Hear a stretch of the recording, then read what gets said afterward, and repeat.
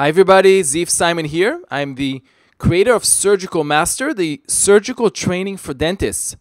Welcome to a quick lecture, and this time I'm going to talk about fear why dentists are shying away from surgery and not moving forward.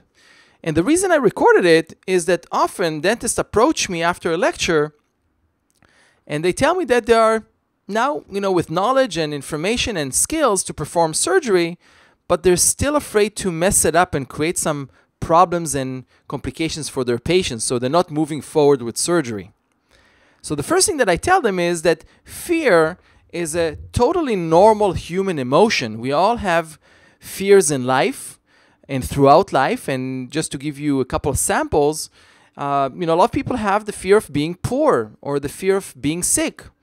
Now, by the way, if you're poor and sick, that that's pretty bad. It's probably one of the worst things. Uh, you know, unless you're also not being loved, which is another um, human fear.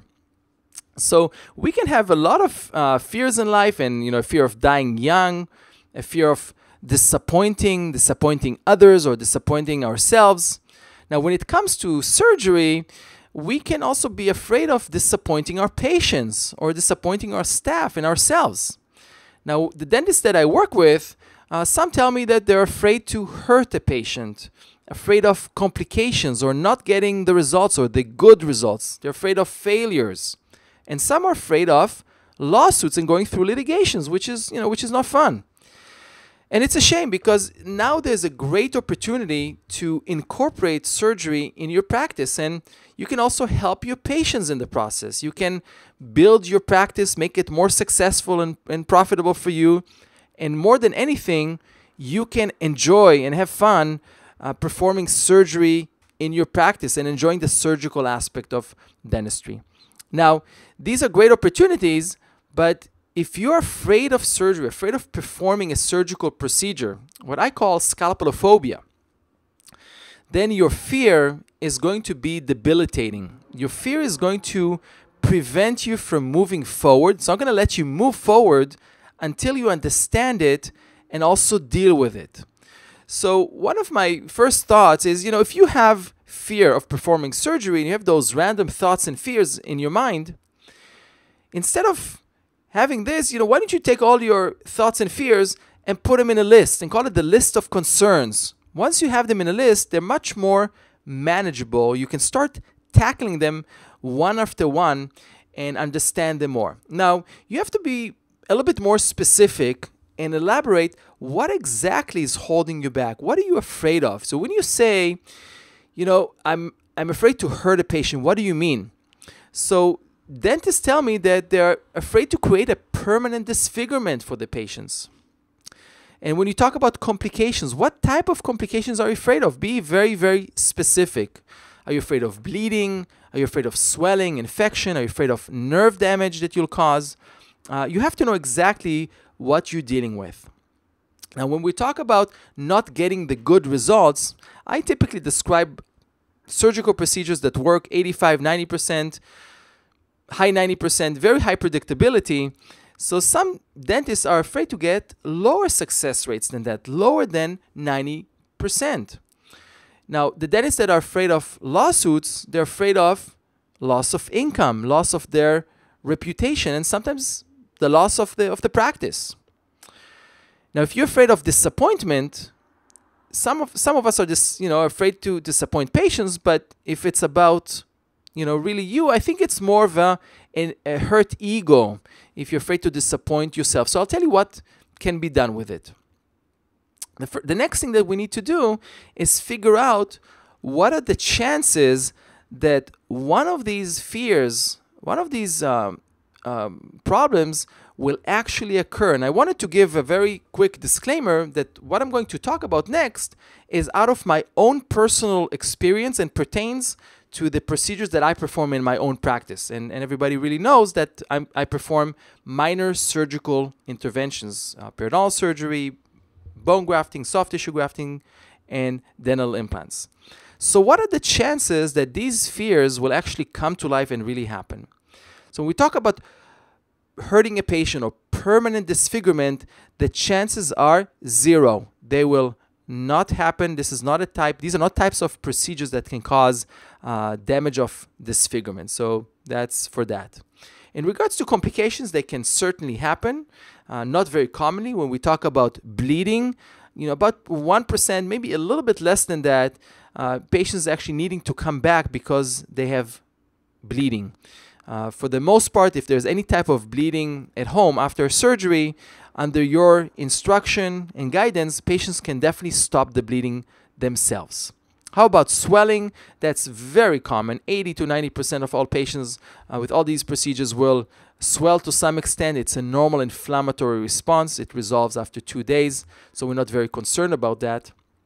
How about infections? Not very common, 2 to 4% that will require antibiotic treatment and, and management. Now, in regards to nerve damage, it's really close to zero, especially if you follow the rules, everything step by step. If you are uh, anatomy savvy and anatomy conscious, uh, the risk of nerve damage is uh, rather low or close to zero. And when we talk about success rates that are less than 90%, because I mentioned to you that you know the procedures that I show are predictable in the 90s or high 90% success rates. So statistically, if you're you know the chances of getting different result is basically between 0 and 10%.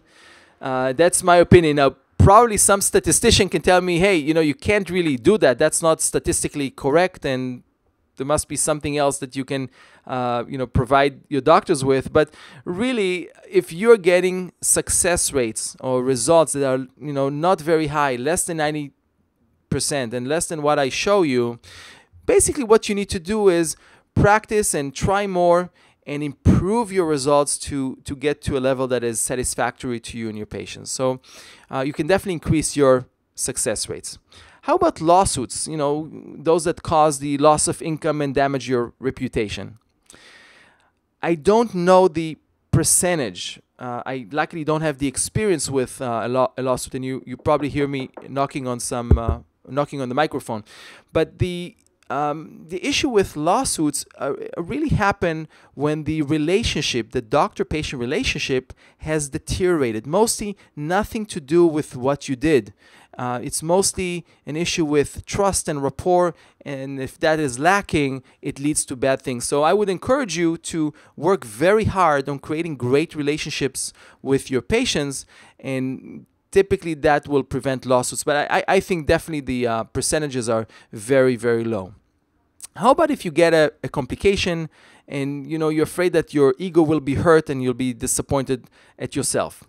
Uh, you know we have to remember that this is not about us. It's not about you. It's about the patients and helping patients with their needs and and basically treating them and getting good results. So if your ego is hurt, then you know unfortunately you'll have to let it go. You have to get over it and work really hard so you know less and less complications happen in the future. So if you look at the list, you can definitely tell that the chances your fear, fears will actually happen and come true is very low. The chances are extremely low that these things will happen. And, and by the way, that's true in general. Most of the things we are fearful of and concerned about actually never happen.